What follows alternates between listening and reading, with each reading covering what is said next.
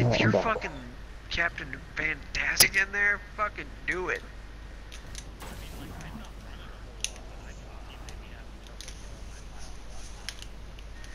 Well, somebody is, and we're gonna find out who the fuck's not killing shit right about now. Because there's Uh, three fucking Just things to kill, and that's it. Three things. We only have to kill three fucking things. Alright?